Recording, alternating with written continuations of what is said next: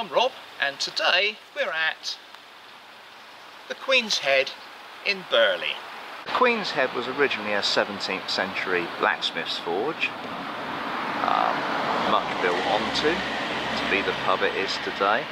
Uh, but it was also the haunt of Peter Warne, the local uh, ne'er-do-well smuggler and outlaw. And it's said that his horse is buried under the pub. And it's also said that uh, you can hear the whinnying of a horse at night sometimes. Isn't really surprising with the New Forest ponies in the in the village. But anyway, we start our walk by walking down through the village. You'll notice a witch theme in the village. That's because in the 1950s there was a, a lady that lived in the village called Sybil Leek and she was a white witch and she did healing and other such things. But uh, most memorable thing is that she used to walk around with a jackdaw on her shoulder. Anyway that's the, the witchcraft connection here. She um, emigrated to the USA at the end of the day. And you notice a dragon in the window as well. And that's because the Bisterne dragon was said to live around the village. And he would fly into Bisterne every morning and terrorise the residents to uh, feed him milk. Which is probably preferable to children. Anyway, we carry on into the village centre. And this is the War Memorial for the First and Second World War. And we carry on through the village. Old landy in there. Another witchcraft shop. And a lovely little cottage that is uh, currently for sale.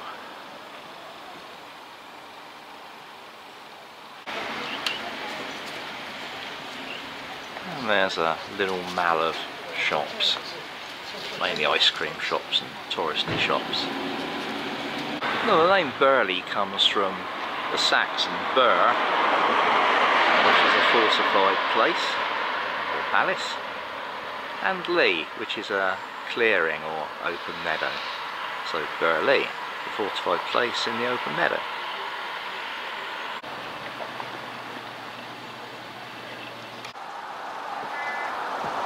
With Burley Lifestyle on the corner, we turn left off of the main road along this gravel road. We continue up the gravel track past all these lovely houses keep on until we reach a tarmac road.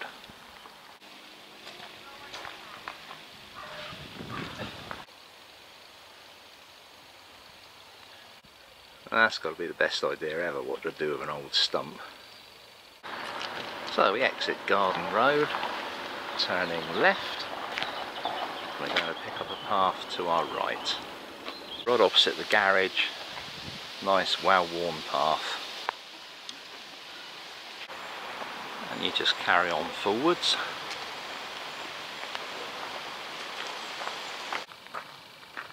You seem to be heading out to the road again but we're going to turn right.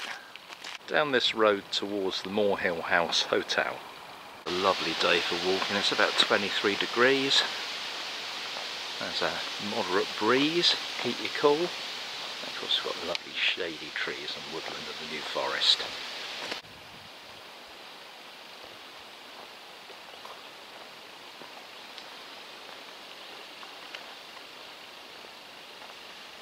and at the sign for Goat's Pen Cottage we go off to the left on this track and we emerge more onto the open forest.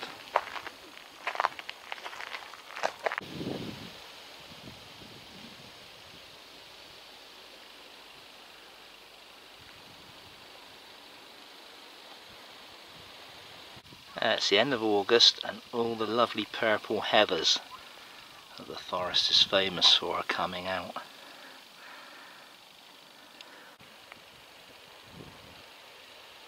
So we're now on top of Shappen Hill and then we'll be dropping down to Slap and Slap Bottom.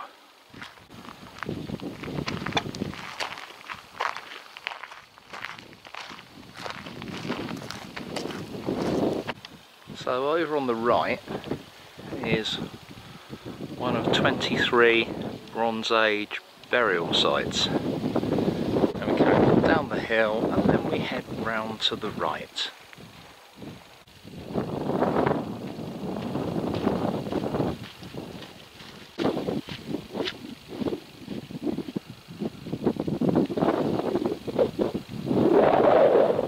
And we carry on to the right on the path through the woodland. And after crossing the dried up stream, we're heading the gravel car park you can see through the bushes. We head out of the car park along this gravel track, which leads us down onto the old railway track. Now this railway track was called Castleman's Corkscrew, more about that later, but this is the, the kind of northern limit of it that's cyclable, it's, it's all cycle track. Um, then there's a gap until you get to Ringwood and then there's uh, more cycle track when you get to Ringwood, which you can see on my Ringwood walk strangely enough. So the railway from London to Waterloo had pushed its way down to Southampton by 1840 and they wanted to move the line along to Dorchester. So with a lot of backing from a chap called Castleman who was a, a Wimborne solicitor, they decided to uh, build this line, which was called Castleman's Corkscrew, because it followed a tortuous route. The passenger trade carried on fairly well until 1888. Uh, then what happened was uh, they built a new railway line to take in Folkestone, Christchurch, Bournemouth. Bournemouth had hitherto been a, a quiet fishing village, but during the boom in Victorian times for sea bathing and holidays, Bournemouth had become massive and needed its own station. So the passenger service on this line just fell by the wayside. The line carried on though until 1964, carrying goods and forestry products and so on and so on. And during the Second World War, it was a very, very busy line for the, uh, the construction of the airfields in the forest particularly Holmesley. Let's continue down this lovely gravel cycle stroke pathway that the railway now is. There's little bits of railway history left in the undergrowth if you look hard enough.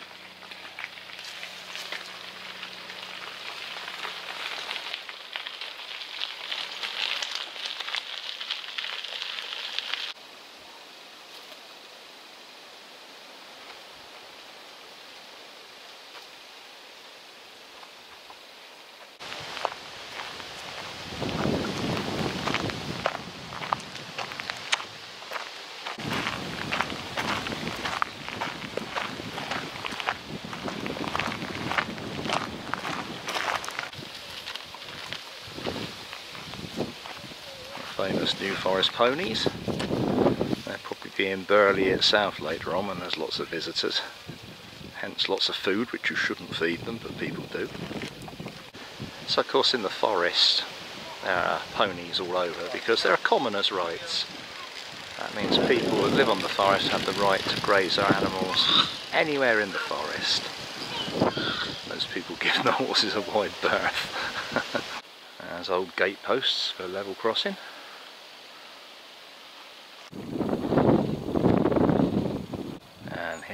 Remains of Greenberry Bridge.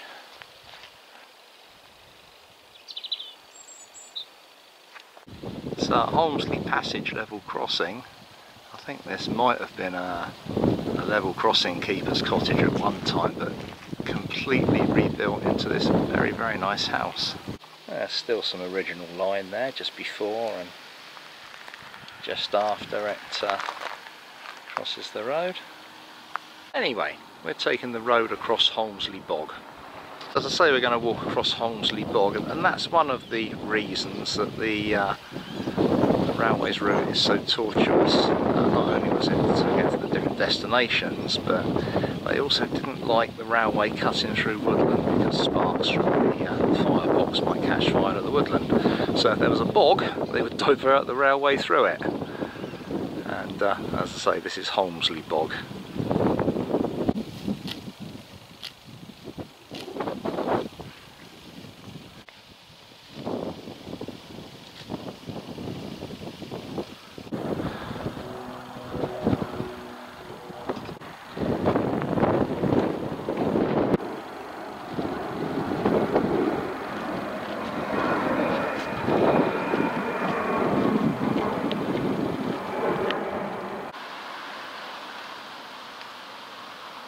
Junction with the main road into Brockenhurst.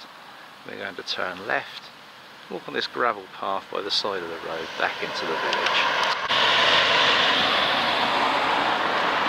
I think somebody needs a bit of practice. The golf course, this is Burley Golf Club, is way over the back of those trees there. Someone was uh, massively off target. And there's the aforementioned golf course. And lots of ladies out playing golf.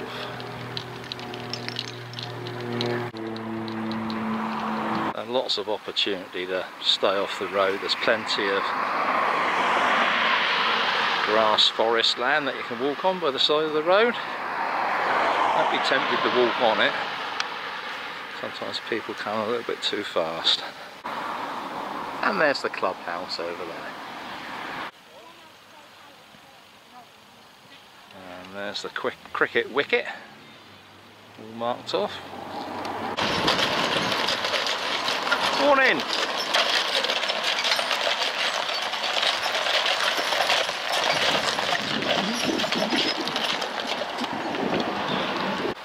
And there we are, back down the hill to the pub. So that was a lovely walk, round about five miles long, bit of railway, bit of open forest, bit of lovely village. Um, if you like the walk, please like and subscribe. Now we can't go in the pub here, I've spoken to the landlady and we haven't had corporate permission from Greene King, so we won't be going in today. Um, so we're going to get a sandwich elsewhere.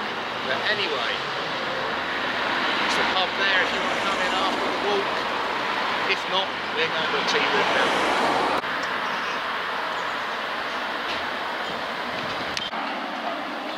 So we've decided to eat in the old farmhouse tea rooms, where we can eat outside and lovely food at a very reasonable price.